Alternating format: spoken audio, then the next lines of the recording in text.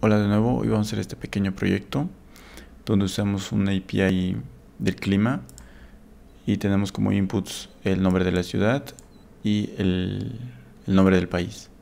Por ejemplo, aquí hacemos una prueba. Por ejemplo, en vez, ahorita hemos hecho, eh, hemos buscado el clima de Bogotá. Si ponemos Lima y ponemos Perú, le damos a Get Weather, nos muestra el clima de, de Perú. Vamos a hacer otra prueba, por ejemplo, Madrid, España, le damos a Get Weather y nos muestra la temperatura actual, el máximo y el mínimo. Y también un icono. Entonces, aparte de eso, eh, si enviamos un, un campo, eh, si no añadimos nada en el campo, tenemos la validación.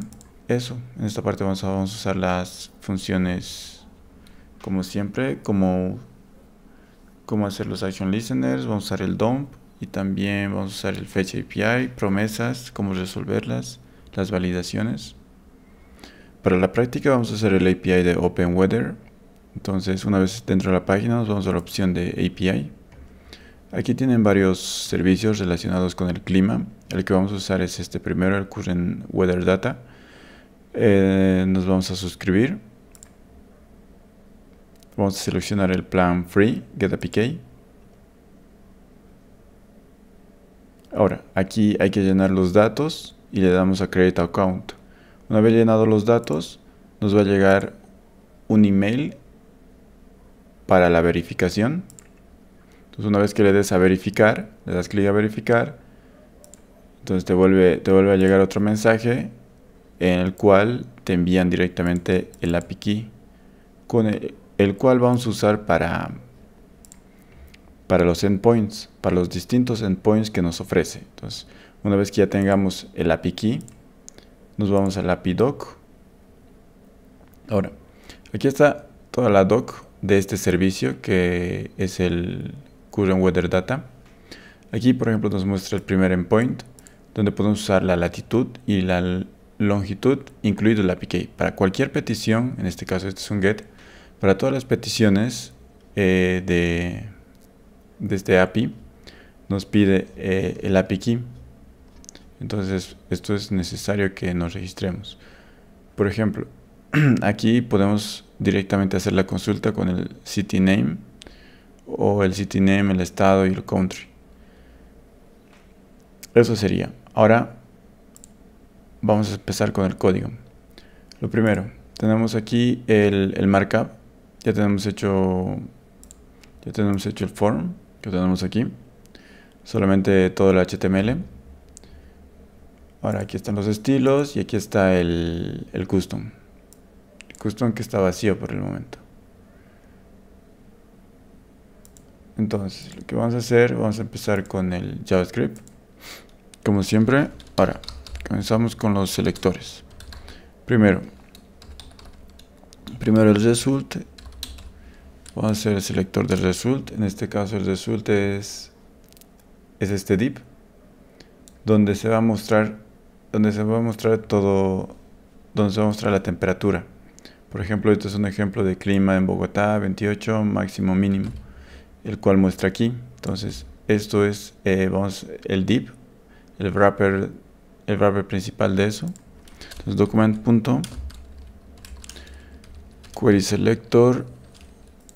De la clase result. Listo. Ahora, esto vamos a duplicar. Ahora lo que necesitamos, otro es el form. Vamos a sacar un, un selector del form que tiene la clase getWeather. Aquí falta un punto. Listo. Ahora el siguiente selector va a ser los inputs. Por ejemplo, este input es el donde vamos a agregar, donde vamos a introducir la ciudad. Simplemente es un ID con es un ID que se llama city. esto se va a llamar name city. Ahora el otro selector que va a ser name country que es el select Listo. Ya tenemos el city y el country. Perfecto. Ahora. Ahora, lo que necesitamos es el action de este form. Entonces aquí tiene el select, el primer input, el select y el input de tipo submit, el cual va, va a ejecutar cuando, cuando se dé a enviar.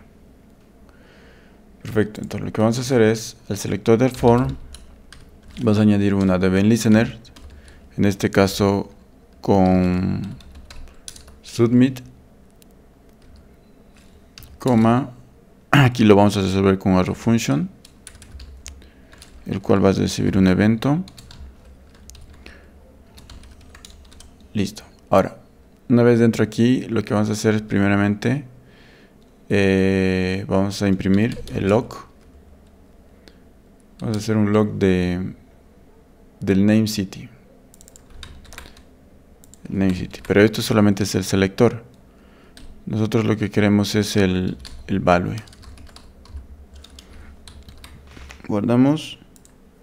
Le damos a get weather. Vamos a escribir, por ejemplo, Bogotá weather. Y como podemos ver, no, no nos imprime nada y al darle a get weather trata de recargar la página entonces para eso debemos usar el event.preventDefault el cual elimina la funcionalidad por defecto que tiene el submit o sea, este submit trata de redirigir el action o sea trata de hacer el action que, que tiene el form si aquí hay una URL va a tratar de redirigir directamente a esta URL pero cuando usamos el preventDefault ya no, ya no hace esa función. Ahora refrescamos y vamos a escribir Bogotá.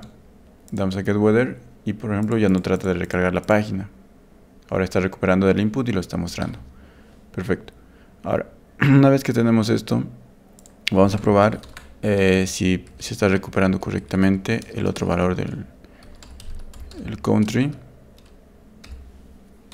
Guardamos, refrescamos, aquí ponemos Bogotá y vamos a poner Colombia. Y aquí nos bota automáticamente el, código del, del, país. En este caso, como es Colombia, CO. Entonces, esto ahorita lo vamos a ver que es necesario para el endpoint. Perfecto, pero ya tenemos los dos casos. Ahora, lo que vamos a hacer es validar estos dos, estos dos inputs. Entonces, para eso vamos a hacer una condición if, donde donde vamos a preguntar si name city, si el valor de name city es igual a vacío o el valor de country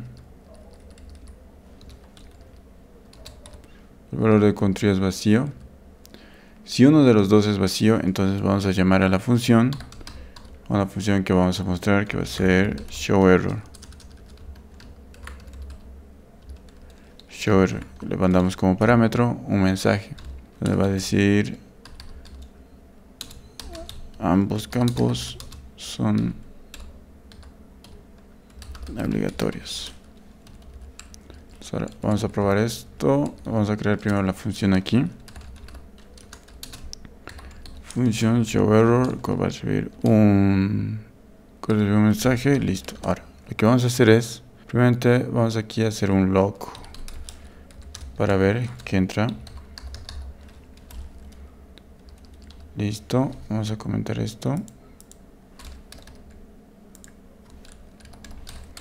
Guardamos y refrescamos. Vamos a tratar de enviar y, nos muestra el mensaje ambos campos son obligatorios. Entonces si llenamos aquí los datos, ya no nos muestra ningún mensaje. Perfecto. Entonces, ahora lo que vamos a hacer es mostrar debajo del botón un mensaje donde diga ambos campos son obligatorios. Perfecto. Para esto lo que vamos a hacer es, primero, creamos, creamos un tag. Vamos a crear un tag eh, que lo vamos a guardar en, alert.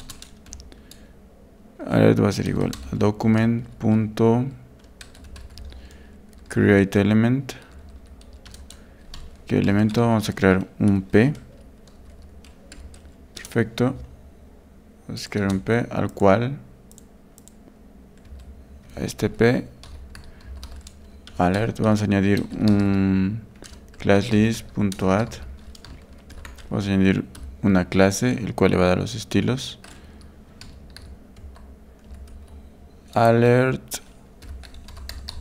message. Añadimos esta clase para que le dé los estilos de que se muestre más que todo la fuente, el tamaño de la fuente y que sea de color rojo. Perfecto. Ahora, al alert message, al alert, vamos a darle el valor con el atributo innerHTML. Va a ser igual a message. Listo, punto y coma. Ya lo hemos añadido, o sea, al tag, al tag de tipo P, ya le hemos añadido el mensaje. Ahora, lo que vamos a hacer es a este selector de tipo form al form vamos a añadirlo, o sea, vamos a añadir como un hijo. Lo añadimos con un hijo, child el tag alert. Listo, punto y coma. Guardamos, refrescamos. Ahora vamos a intentar sin, sin llenar los campos, darle a get weather, entonces nos imprime. Llenamos solamente un campo nos sigue imprimiendo y si llenamos el otro como podemos ver ya no nos imprime. Entonces aquí vamos a hacer que esto el mensaje solo dure un momento y después se elimine porque si no llenas ningún campo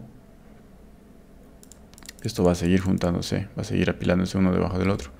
Perfecto. Entonces para eso eh, para esto lo que vamos a hacer es vamos a usar la función setTime set time out set timeout, el primer, como primer atributo lo que recibe es una función, sería en este caso una run function. Listo, aquí lo que vamos a hacer es el alert. Vamos a usar la función remove. Y el segundo parámetro es el tiempo. 300 milisegundos. Entonces, lo que, hacemos, lo que estamos haciendo aquí es que una vez que muestra el mensaje, va a ser un set timeout. Entonces, va a eliminar, el, va a eliminar el, este tag que hemos creado el tipo alert después de 3 segundos. Guardamos. Refrescamos. Vamos a dar get weather. Ahora vamos a contar 1, 2, 3 y elimina el mensaje. Entonces, esto va a evitar que se apilen varios mensajes. Si llenamos, como podemos ver, no muestra ningún mensaje. Perfecto. Ahora, vamos a poner aquí un return para que, para que salga, para que la ejecución del programa, para la ejecución del código, salga automáticamente y no siga, y no siga ejecutando lo que está fuera del, fuera del if. Ahora, aquí lo que vamos a crear es otra función, otra función, el cual va a ser call el cual va a ser el llamado al, al API, pero como parámetro va a recibir va a recibir como parámetro el name city value y el name country value. Listo country se recibe dos parámetros perfecto. Ahora vamos a crear aquí la función calapi cual recibe el city el city punto y el country. Perfecto dos parámetros listo ahora lo que nosotros necesitamos es ya para usar eh, la función fetch, el endpoint y el API key. Entonces creamos una, vamos a crearnos un const eh, API ID. Esto va a ser igual a una cadena. Entonces vamos a recuperar el, el API, el IP key que nos que nos han mandado, o sea, una vez que nos hemos registrado, hemos obtenido el API key. Ahora lo pegamos aquí y lo vamos a guardar en esta variable. Ahora nos creamos otra, otra variable. Que va a ser la URL. Va a ser igual a... En este caso vamos a buscar el endpoint. Entonces, ¿qué endpoint vamos a usar para este caso? Para este caso vamos a usar este endpoint, donde dice, eh, donde se usa el city named y el country code y también se puede usar el state code. Entonces copiamos. Copiamos y aquí dentro de un en este caso vamos a quitar esta parte. Entonces aquí también en una cadena vamos a copiar el API listo.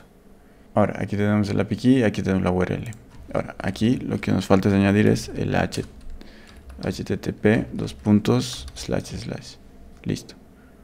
Ahora lo que nosotros tenemos que reemplazar es aquí el city name que va a ser el city solamente y aquí no Eh, para poder añadir variables, nos conviene que esto sea template strings. Punto y coma. Perfecto, entonces una vez que tenemos eso, aquí vamos a añadir el API key, diré el API ID. Entonces aquí solamente añadimos el símbolo del dólar y esto ya se vuelve una variable. O sea, podemos concatenar variables. Entonces aquí el city. En este caso no vamos a usar este que dice state code, pero sí vamos a usar el country code.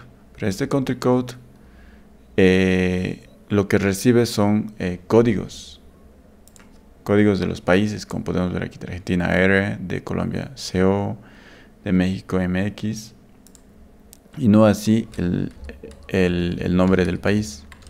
Entonces aquí le ponemos país, country. Perfecto, y aquí añadimos el dólar. Eh, si usamos templates de string se pueden concatenar fácilmente. Entonces, pero podemos hacer una prueba podemos hacer una prueba rápida de esto una prueba rápida aquí concatenamos directamente estamos hardcodeando donde dice el atributo appid eh, hardcodeamos el, el id el API key entonces aquí en city vamos a poner Bogotá y en country vamos a poner Colombia. Perfecto ahora copiamos todo esto y vamos a ver vamos a enter como podemos ver aquí ya nos devuelve un JSON mm, con todos los parámetros que tiene como podemos ver aquí está lo que vamos a usar la temperatura, esto está en kelvins, máximo, mínimo. Y ahora, para que se vea de esta forma el JSON, yo estoy usando la extensión que es para Chrome, el JSON Viewer, donde te lo identa y es más, es más agradable a la vista. Perfecto, una vez que hemos probado, ya tenemos en claro cómo, cómo está funcionando este endpoint. Este endpoint sería de tipo get. Perfecto, ahora que tenemos ya los dos, el API, la, el API ID y la URL, vamos a usar en este caso el fetch. Fetch, entonces, este fetch recibe como parámetro la URL y esto es lo que devuelve una promesa. Entonces, aquí vamos a poner punto den, mejor lo concatenamos, mejor lo identamos. Listo. Den. Esto. La respuesta de esta promesa va a ser data. Aquí lo vamos a resolver con un arrow function. Entonces, este data, eh, vamos a hacer un return de que data, vamos a hacer un parse a, JSON. Nos estamos devolviendo. La promesa, la promesa va a devolver un dato. Entonces, este dato lo lo parseamos a JSON y una vez que lo parseamos a JSON de nuevo esta promesa va a devolver. Va a devolver ya un data un data JSON de la misma forma que arriba esto se resuelve con una run function. Listo lo primero que estamos haciendo es la promesa nos devuelve un data este data lo parseamos a JSON volvemos a devolver ese, ese data, pero ya en tipo JSON. Ahora aquí lo recibimos como, como esta variable, data JSON. Ahora vamos a imprimir esto. Vamos a hacer un log de data JSON. Guardamos, vamos aquí, refrescamos. Ahora, vamos a poner aquí Bogotá, Colombia, get weather. Entonces aquí podemos ver ya nos devuelve el, JSON con todos sus atributos. O sea, tiene, tiene muchos más muchos más objetos, muchos más tipos de datos que se podrían usar. Aquí está el que necesitamos, está dentro del main, dentro del main. Listo. Entonces, ahora en esta parte vamos a hacer una validación. Por ejemplo, ¿qué pasa si ¿Qué pasa si escribimos mal el, nombre de la ciudad? Por ejemplo, Bogotá con dos As. Le damos a Vamos a limpiar. Vamos a get weather.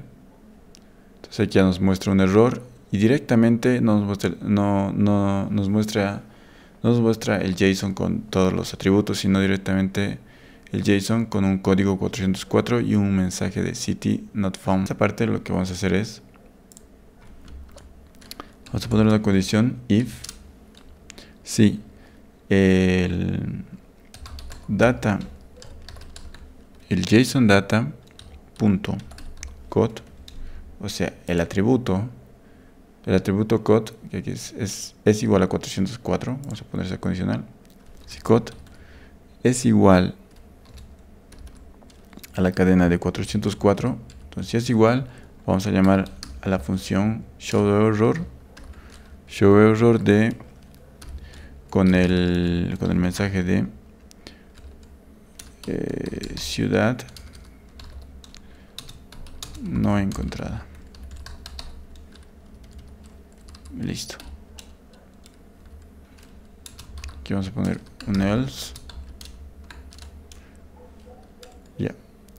eh, si, si no encuentra la ciudad muestra el mensaje. Pero si encuentra la ciudad vamos a crear una función lo que va a hacer show error. Vamos a crear esta función y aquí le pasamos el data data json. Listo. Ahora vamos a comentar esto. Listo. Ahora tenemos que crear esta función que es functions show uh, shower. No no. Aquí está mal aquí vamos a buscar aquí lo que va a hacer es show weather. Show weather. O sea, vamos a crear la función mostrar clima. Ahora esto recibe, esto recibe un data. Esto recibe un data, perfecto. Ahora, esta función va a ser específico para crear el markup y mostrarlo. Lo primero, vamos a usar destructuración para esta parte donde, por ejemplo, si encontramos la ciudad, entonces tenemos este, tenemos este objeto o este JSON, el cual vamos a usar de estructuración para obtener la temperatura máximo mínimo. Y otro dato interesante que está en aquí, que está en weather. Aquí, aquí tenemos algo, algo interesante. Por ejemplo, aquí nos devuelve eh, en, el, en el objeto main, nos devuelve la temperatura, la presión, la humedad, eh, máximo mínimo pero aquí en, la, en el atributo weather nos devuelve un array y el array es un array de objetos. Entonces este primer objeto nos devuelve aquí un, un ico, un atributo ico, el cual lo podemos usar. Nos vamos a la opción de list of condition codes. Ahora, aquí hay, un, hay una opción que dice weather condition codes. Vamos a abrir. Ahora aquí lo que, lo que devuelve también este API es este, este atributo ICO, por ejemplo aquí dice 10N, entonces todo, todos, esos, todos esos iconos son, son estas imágenes. Entonces devuelve, digamos, soleado, eh, frío, diré la noche, o lluvia, rayos, nieve. Entonces, para hacerlo un poco más interesante, vamos a añadir esto. Entonces, vamos a hacer una prueba. Por ejemplo, aquí Aquí está con el código 10D. Si lo ponemos, nos devuelve esto. Entonces, ahora vamos a revisar lo que nos ha devuelto aquí. Aquí nos devuelve el... Nos devuelve 0, 03N. Entonces aquí solamente hay que reemplazar. Pegamos 03N. Listo. Aquí nos devuelve una, una nube. Una nubecita. Una nube blanca. Vamos a añadir esa, esta opción. O sea, se puede usar muchas más. Se puede usar, o sea, todas estas opciones, ¿no? Para hacer un buscador del clima que sea mucho más completo. Entonces, pero, pero no, no vamos a usar todos los atributos. Este caso, para usar esto, lo que vamos a hacer, aquí estuvimos en la estructuración, entonces, vamos a estructurar de data. Como es un objeto, entonces abrimos llaves. Listo, abrimos llaves. Ahora, lo que vamos a primero obtener esta parte en el HTML lo que necesitamos es el nombre, porque aquí nosotros ponemos clima en Bogotá, entonces el nombre de la ciudad. Entonces para esto lo que hacemos, vamos a ir revisando poco a poco el, JSON. Eh, el nombre está aquí, afuera, ¿no ve? Eso es un atributo principal, digamos. Es un atributo principal, entonces ponemos aquí name, coma. El siguiente atributo. El siguiente atributo es el main. Perfecto. Sacamos el main. Pero este main, o sea, dentro del main está el temp, el temp max y el temp min. Lo que vamos a hacer es temp dos puntos y hacemos otra destructuración. Lo que vamos a poner es temp, coma, temp eh, min, coma, temp max. Revisamos y aquí podemos poner temp, temp, temp. Y hemos obtenido estos tres atributos.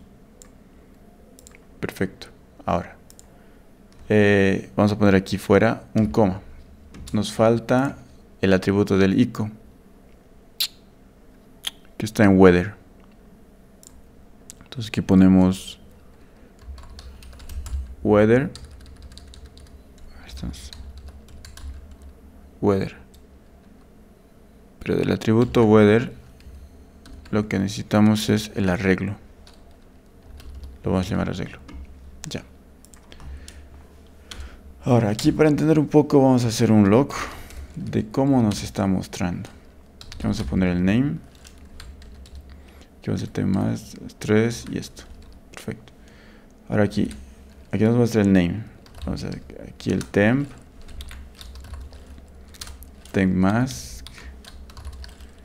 Temp mint. Y aquí el, en este caso, sería el arreglo. Perfecto.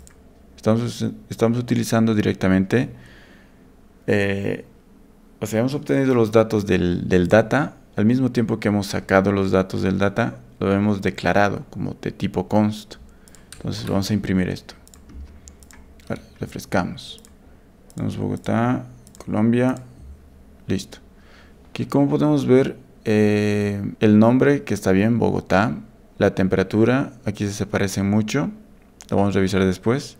Pero el último valor, el último valor nos, muestra todo el arreglo. Entonces aquí, ¿por qué no nos está mostrando el JSON? Queremos ver el JSON. El JSON completo. Refrescamos otra vez. Perfecto. Ahora aquí tenemos este es el JSON completo, ¿verdad? Sí, ya. Entonces Bogotá. Ya, recuperamos el nombre. Ahora dentro del main está el, la temp, que es 28588, es el mismo, y temp max min es el mismo. Entonces no pasa nada, está bien. Ahora lo que hemos hecho aquí del weather, la estructuración solo hemos obtenido el array del, del primer valor, o sea, el array que, que está aquí dentro, en la posición 0.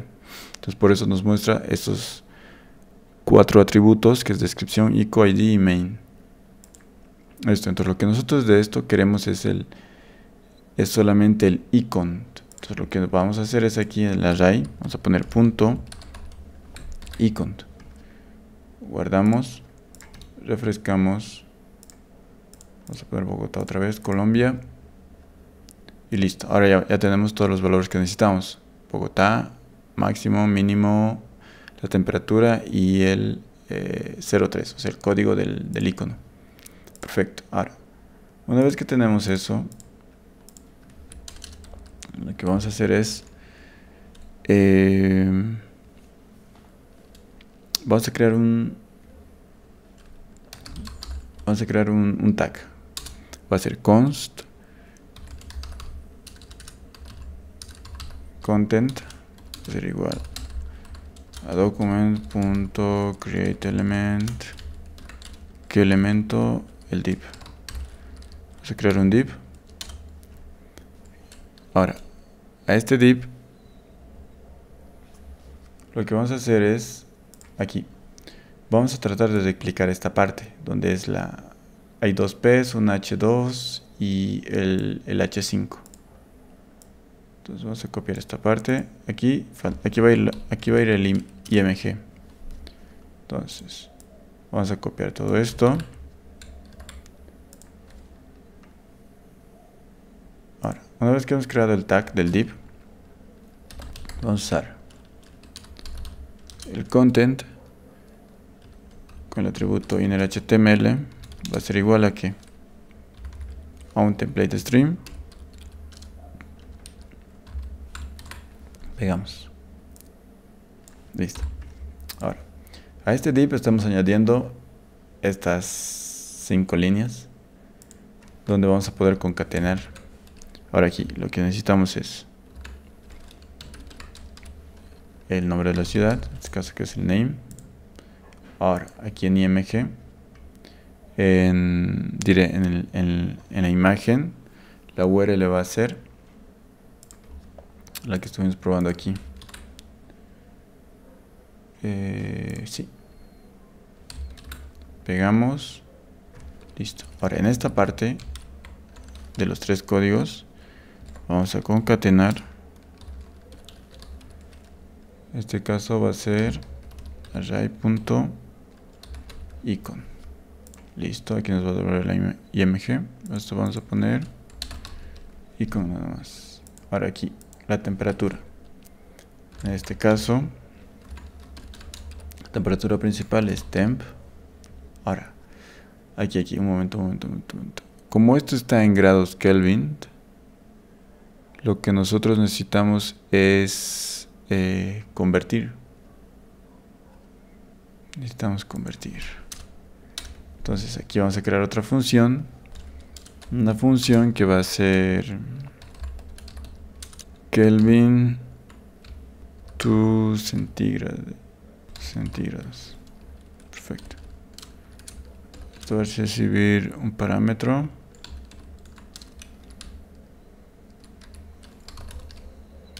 listo. Ahora lo que vamos a hacer es aquí directamente un return. Es un return de que lo que vamos a hacer es el temp va a ser menos 273.15 para convertir. Pero nosotros lo necesitamos como entero. Entonces lo que vamos a hacer aquí es un parse parse int de esto. Listo, aquí lo tenemos parseado. Perfecto. Ahora vamos a usar esta función. ¿Qué parte? Aquí. Ahora vamos a crear primero cons va a ser en grados digress vamos a llamar a la función y le pasamos pasamos el temp pasamos el temp listo Ahora vamos a hacer para los dos siguientes. Este va a ser el temp min y el temp max. Aquí vamos a poner max max y el min. Perfecto. Entonces, aquí vamos a reemplazar. Ahora en vez de team, vamos a poner grados. Y también vamos a reemplazar en el min y el max. Aquí va a ser el max. Listo y aquí el min. Pegamos y min. Listo. Ahora una vez que hemos reemplazado en este en este markup todos los datos ya convertidos a grados lo que vamos a hacer es agregar al selector del result este result mm, aquí vamos a hacer result punto punto appendchild y le pasamos como parámetro el tag que hemos creado, o sea el div, que sería content, listo. Eh, guardamos. Ahora vamos a probar. Refrescamos. Vamos a elegir Bogotá y Colombia. Guardamos. Vale, aquí nos sale un error porque nos hemos equivocado en result, solamente con, con la T. Refrescamos Bogotá otra vez Colombia. Le damos a get. Ahora aquí nos ya nos imprime el markup que hemos agregado. En Bogotá y max mink. Perfecto. Ahora lo que tenemos que hacer es comentar lo que tenemos aquí en el HTML está bajar codeado ya no lo necesitamos guardamos ¿Y qué más? Aquí comentamos esta parte. Eh, guardamos y revisamos. Refrescamos. Ahora aquí ya no nos muestra. Solo nos muestra este mensaje que dice agregue la ciudad y país. Agregamos la ciudad y el país. O get weather. Y ya nos muestra el clima de, de Bogotá. El actual, el max y el min.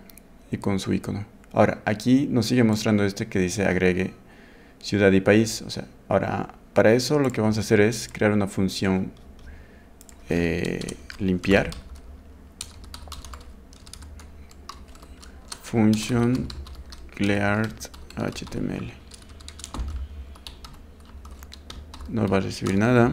Y esto lo que va a hacer es el result. inner HTML. No, aquí va a ser esto igual a una cadena vacía. Listo, guardamos. Ahora, antes esta función hay que llamarla aquí, justo antes de llamar a showWeather, vamos a limpiar. Listo. Listo. Ahora aquí lo que olvidábamos era agregar el catch. Agregar el catch. Va a recibir un error. Y si hay un error, lo va a mostrar en pantalla es un log de error listo.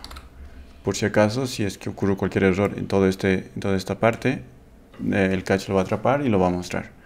Listo guardamos ahora aquí refrescamos nos sale Bogotá eh, Colombia le damos a get como podemos ver ahora ya no nos muestra el mensaje y nos dice Bogotá máximo mínimo. Vamos a probar con otras ciudades por ejemplo Lima eh, Perú y nos muestra que está soleado eh, máximo, el máximo y el mínimo y el actual, listo. Ahora vamos a probar con otro país que sea Buenos Buenos Aires. Eh, en este caso Argentina, le damos a Get Weather y nos muestra que está medio lluvioso pero con buenas temperaturas. Por último, a ver la de Madrid y que dice España. Listo. Y allá está haciendo mucho más frío, pero está algo nublado. Con esto terminaríamos el proyecto. Eh, se podría hacer un, buscador de clima mucho más completo con todos los, los atributos o las variables que nos devuelve ese, este, este endpoint. Y gracias por llegar hasta aquí. Nos vemos la próxima.